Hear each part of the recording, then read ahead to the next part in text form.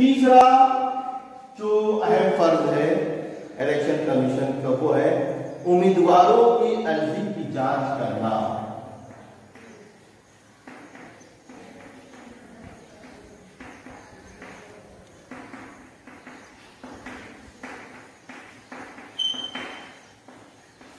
Election commission का चौथा फ़र्ज़ है, सियासी पार्टियों को मंजूरी देना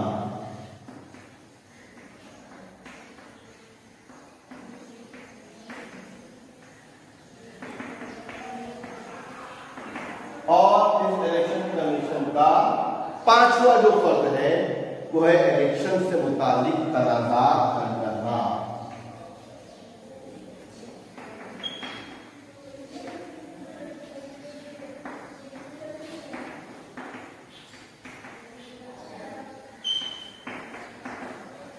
ये पाँच फराइज है इलेक्शन कमीशन के।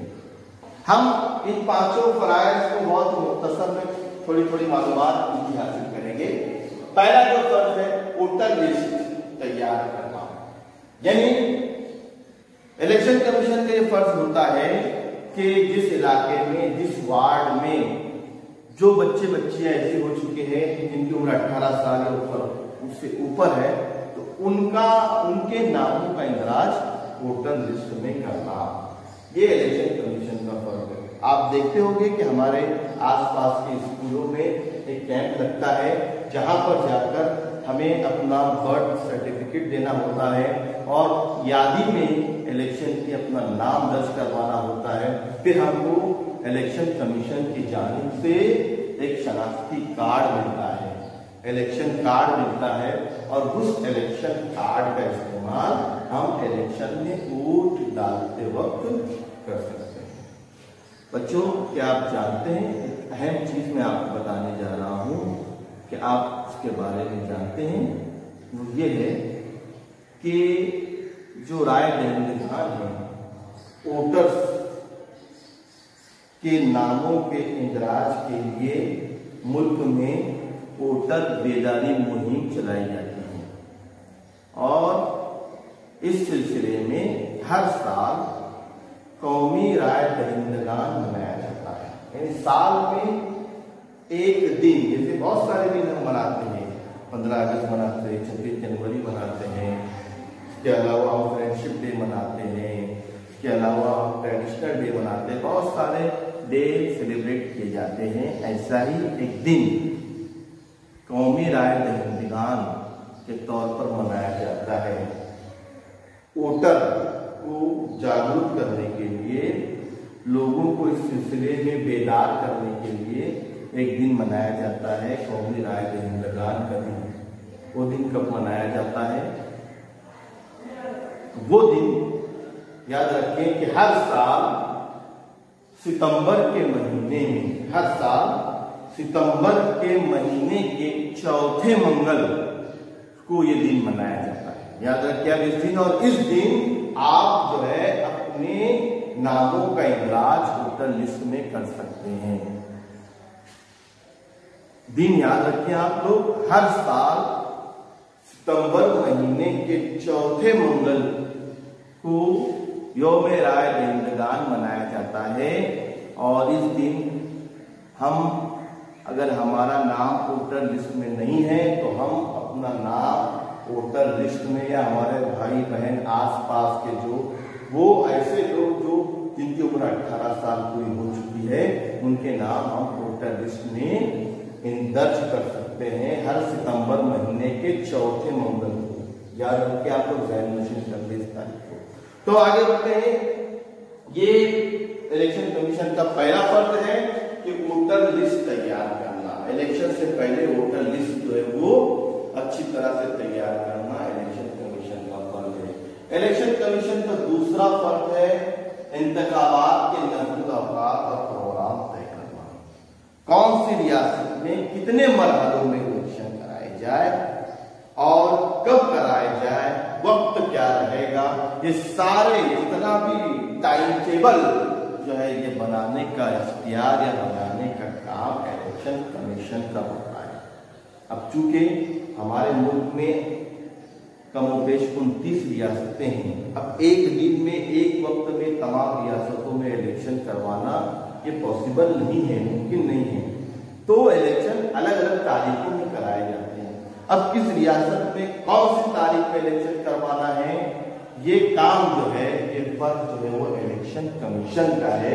इलेक्शन कमीशन जो है, वो इस ज़िम्मेदारी को निभाता है, सारे प्रोग्राम तय करता है, सारे अवकात नजमुल अवकात तय करने की ज़िम्मेदारी इलेक्शन कमिश्नर की होती है। जैसे लोकसभा का इलेक्शन पाँच साल में एक मरतबा होता है। तो पाँच साल के बाद इलेक्शन की डेट तय करना, तारीख तय करना, दिन मुकर करना, वक्त मुकर करना कितनी रियासतों में कौन सी तारीख को इलेक्शन होगी, ये सारे प्रोग्राम बनाने की ज़िम्मेदारी ये इलेक्शन कमीशन की होती है। तीसरा जो इनका पद होता है, वो होता है उम्मीदवारों की अर्जी की जाँच।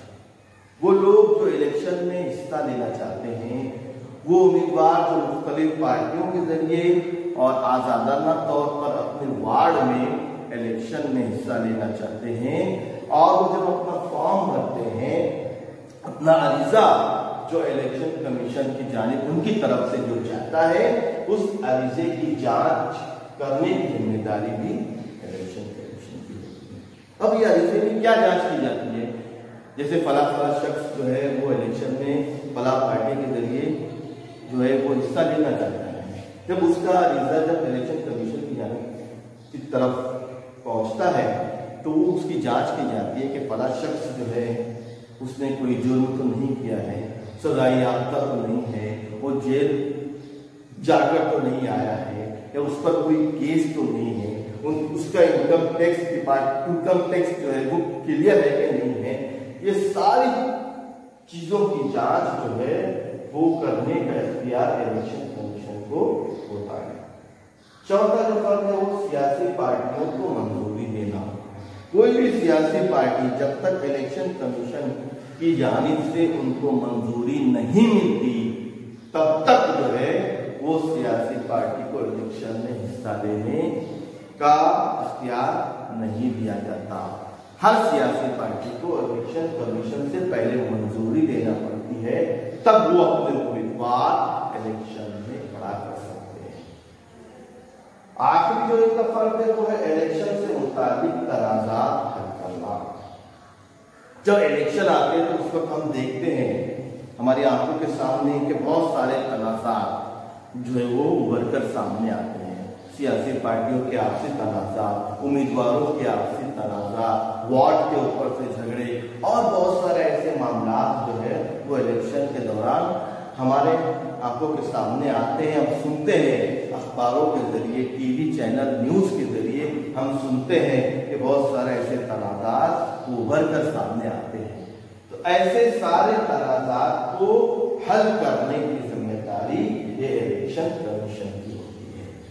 तो इलेक्शन कमीशन के लिए मुख्तलिफ़ पाँच फराइज हैं, जिस पर वो अमल करती है और उनका मकसद इलेक्शन कमीशन का मकसद सिर्फ़ ये होता है कि मुल्क में हर इलेक्शन को अच्छे से, आसानी के साथ बहुत खूबी अंजाम देना ये उनका मकसद होता है। पहले बच्चों, एक और चीज़ मैं आपको बताता चलूँ कि 1950 में जब पहली मरतबा इलेक्शन हुए थे तो उस वक्त कोई ऐसा शख्स होगा ना जिसने सबसे पहले वोट डाला होगा? होगा ना कोई ऐसा शख्स कि इलेक्शन के दिन सबसे पहले वोट डालने वाला शख्स कौन एक सवाल है कि आज़ाद भारत के बाद, आज़ाद भारत के बाद जब पहली मरतबा इलेक्शन हुए 1950 में, वो कौन शख्स था जिसने सबसे पहले अपना वोट दर्ज किया था? तो प्यारे बच्चों, उस शख्स का नाम है श्याम शरण नेगी। श्याम शरण नेगी पहले वोटर कहलाते हैं। श्याम शरण नेगी। श्याम शरण नेगी हमारे मुल्क के पहले हैं श्याम शरण नेगी रियासत हिमाचल प्रदेश के रहने वाले हैं और वो भारत के पहले वोटर कहलाते हैं। 25 अक्टूबर सन उन्नीस सौ इक्यावन में जब पहली मरतबा लोकसभा का इलेक्शन हुआ, उस इलेक्शन में सबसे पहले वोट डालने वाले शख्स का नाम श्याम शरण नहीं था। बच्चों कुछ नाम आपको इसमें याद रखने हैं। सबसे पहले चीफ इलेक्शन कमिश्नर जो है वो सुकुमार सिंह। इस वक्त मौजूदा चीफ इलेक्शन कमिश्नर वो है सुनील अरोड़ा। सबसे पहले वोट डालने वाले शख्स श्याम शरण ये कुछ नाम आपको याद रखना है। तो बच्चों, ये कुछ चीज़ें इस सबक से मुताबिक थी। अब सवाल ये पैदा होता है कि जो लोकसभा के इलेक्शन होते हैं, उसमें सीटों का बंटवारा कैसे होता है? तो बच्चों, इस वक्त भारत में कुल उनतीस रियासतें हैं। हर रियासत में उसका रकबा और आबादी अलग अलग है। तो लोकसभा की पाँच सौ तैयलीस सीटों पर इलेक्शन होता है। अभी पिछला इलेक्शन आपको मालूम होगा, सन 2019 में अभी पिछला इलेक्शन हुआ। पाँच सौ तैयलीस सीटों पर जो इलेक्शन हुआ। अब अगला इलेक्शन जो है, वो 2024 में होगा। तो ये पाँच सौ तैयलीस सीटें फाइव फोर्टी थ्री सीटें, ये कैसे तकसीम की जाती है? सवाल है। तो बच्चों हमारे मुल्क में जितनी भी रियासतें हैं, उन रियासतों की आबादी और रकबे के हिसाब से सीटों का बंटवारा होता है। जैसे सबसे ज़्यादा आबादी वाली रियासत भारत में वो उत्तर प्रदेश है। तो लोकसभा की सबसे ज़्यादा सीटें उत्तर प्रदेश में हैं, अस्सी सीटें अस्सी सीटें उत्तर प्रदेश में हैं। सबसे कम कहा है? गोवा में सबसे कम सीटें सिर्फ़ एक सीट गोवा में है। क्योंकि वहाँ आबादी बहुत कम है, छोटी रियासत। अब ये सवाल, एक सवाल ये कि हम जिस रियासत में रहते हैं, रियासत महाराष्ट्र तो हमारे इस महाराष्ट्र, इस रियासत में लोकसभा की कुल कितनी सीटें हैं? बच्चे अब याद रखें कि लोकसभा की महाराष्ट्र में कुल सीटें अड़तालीस हैं फोर्टी एट इस तरह ये सीटों का बंटवारा किया जाता है। हर रियासत में आबादी के लिहाज से सीटों का बंटवारा लोकसभा के लिए किया जाता है। प्यारे बच्चों, ये सबक का आधा हिस्सा जो है, वो हमने आज यहाँ पर इस सेशन में आज कंप्लीट किया। आधा हिस्सा इंशाल्लाह हम अगले सेशन जो इसका हमने कंप्लीट किया, जो पूरा किया, जिसके बारे में हमने मालूम हासिल की, मैं एक बार फिर आपको बता दूँ कि सियासियात का दूसरा सबक इंतबी अमल, जिसके बारे में भी हमने मालूम हासिल की, बहुत ही इंटरेस्टिंग और बहुत ही मालूमती सबक है। इसमें इलेक्शन कमीशन के बारे में मालूम दी गई है कि मुल्क में इलेक्शन करवाने की ज़िम्मेदारी इलेक्शन कमिश्नर की इलेक्शन कमीशन की होती है। इस इलेक्शन कमीशन में एक चीफ इलेक्शन कमिश्नर होता है। और दो दीगर इलेक्शन कमिश्नर होते हैं। इन सबको जो है इंतखाब करने, इन सबको नामजद करने की ज़िम्मेदारी सदर जमहूरिया की होती है। हमारे भारत के पहले chief election commissioner Surya Kumar Sen थे, जिन्होंने 1950 में होने वाले इलेक्शन को काफ़ी अच्छे तरीके से अंजाम दिया। अब सन 2020 में जनवरी में जो है सुनील अरोड़ा नामक शख्स को अभी इलेक्शन कमिश्नर के तौर पर नामजद किया गया है, सदर जमहूरिया श्याम शरण मेघी हमारे भारत के पहले वोटर है, जिन्होंने सबसे पहले वोट डाला था। जब आज़ाद भारत हुआ तो उस वक्त तकरीबन दो इलेक्शन तक इलेक्शन में वोट डालने की मुद्दत उम्र जो है वो 21 बरस लेकिन बाद में उसको चेंज करके 18 बरस कर दिया गया। जब ये 18 बरस कर दिया गया तो उस वक्त जो है, बहुत सारे नौजवानों को इलेक्शन में राय ज़िंदगी का मौका मिला। तब से भारत दुनिया का सबसे बड़ा, जमहूरी मुल्क और दुनिया में सबसे ज़्यादा राय दहिंदगी का इस्तेमाल करने वाला मुल्क जो है वो